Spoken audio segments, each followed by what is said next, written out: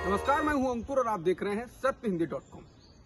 सत्य हिंदी की खबरें शुरू करें, उससे पहले आपको ये बता दें, जैसा कि आपको पता भी होगा कि सत्य हिंदी का ऐप आ चुका है और उसको डाउनलोड करने के लिए आपको इस वीडियो के डिस्क्रिप्शन में जाना होगा। इस ऐप को आप गूगल प्ले स्टोर से भी डाउनलोड कर सकते हैं और अब नज़र डाल लेते हैं अब तक की सुर्खियों पर। योगी आदित्यनाथ आज लगातार दूसरी बार उत्तर प्रदेश के मुख्यमंत्री पद की शपथ लेंगे। लखनऊ में गुरुवार को हुई बीजेपी विधायक दल की बैठक में योगी को नेता चुना गया। केंद्रीय गृह मंत्री अमित शाह और बीजेपी के राष्ट्रीय उपाध्यक्ष रघुबर दास बतौर पार्टी पर्यवेक्षक विधायक दल की बैठक में मौजूद रहे। उधर शपथ ग्रहण समारोह की तैयारियाँ पूरी हो चुकी हैं। समारोह में प्रधानमंत्री मोदी गृह मंत्री अमित शाह और बीजेपी अध्यक्ष जेपी नड्डा भी शामिल होंगे।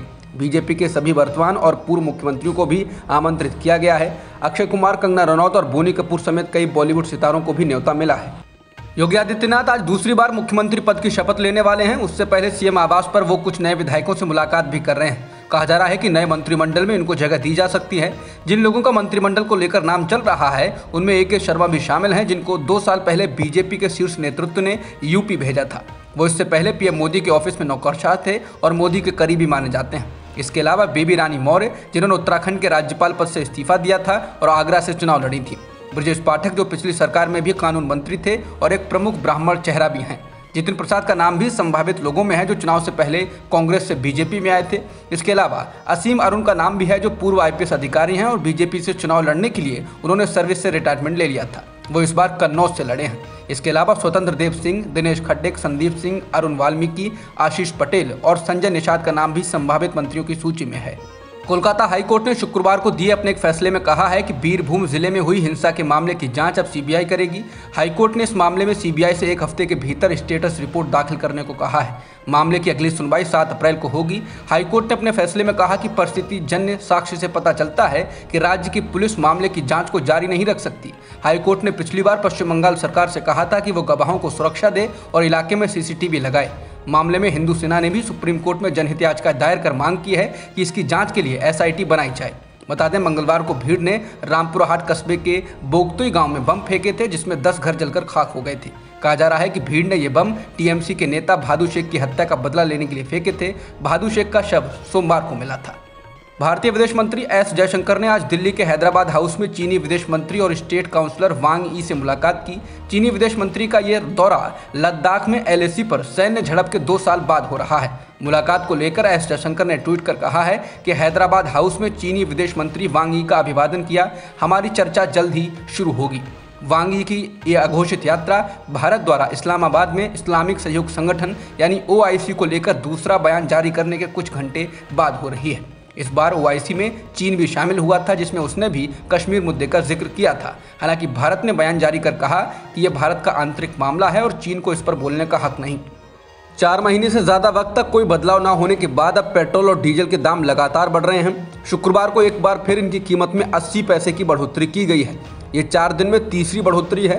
बढ़ोतरी के बाद दिल्ली में पेट्रोल की कीमत सत्तानवे रुपये इक्यासी पैसे प्रति लीटर हो चुकी है और डीजल की कीमत नवासी रुपये से ज़्यादा हो चुकी है। घरेलू एलपीजी गैस का सिलेंडर भी मंगलवार को पचास रुपये महँगा हो गया था। माना जा रहा है कि आने वाले दिनों में पेट्रोल और डीजल की कीमतों में और बढ़ोतरी हो सकती है। पाकिस्तान में शुक्रवार से संसद सत्र शुरू तो हो गया, लेकिन इसमें अविश्वास प्रस्ताव नहीं ला जा सका। स्पीकर ने सत्र को 28 मार्च तक के लिए मुलतवी कर दिया। संसद सत्र के बेहद हंगामेदार होने की आशंका के बीच इस्लामाबाद में और संसद परिसर में सुरक्षा व्यवस्था बेहद मज़बूत की गई। विपक्षी दलों के गठबंधन पाकिस्तान डेमोक्रेटिक मूवमेंट यानी पीडीएम के हमलों से घिरे इमरान खान शक्ति प्रदर्शन करने जा रहे हैं। इमरान की पार्टी तहरीक इंसाफ यानी पीटीआई की ओर से 27 मार्च को इस्लामाबाद में बड़ी रैली रखी गई है।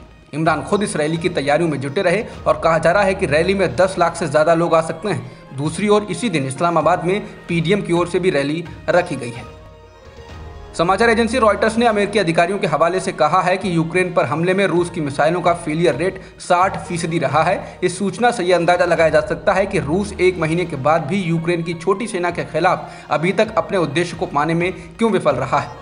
रॉयटर्स के मुताबिक, हालाँकि अधिकारियों ने अपने इस दावे की पुष्टि के लिए कोई सबूत नहीं दिए हैं। ब्रसेल्स में यूरोपीय परिषद के शिखर सम्मेलन को संबोधित करते हुए यूक्रेन के राष्ट्रपति वोलोदिमिर जेलेंस्की ने बताया कि रूस उनके देश में कितनी तबाही मचा रहा है।